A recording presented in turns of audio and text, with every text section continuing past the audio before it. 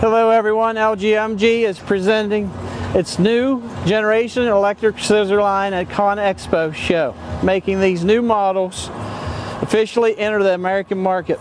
The new product at ConExpo includes four lead acid battery powered models, the S1932E, S2632E, the S3246E, and the S4650E. The whole series is an all indoor-outdoor models allowing two people working on the platform indoors and one person outdoor which provides greater efficiency and meets customer demand. The new electric scissor lifts are easy and low cost to maintain. All models are equipped with swing out component trays which is easy for the access and maintenance. The new lower control panel consists of a larger display readout which makes troubleshooting easier and more convenient.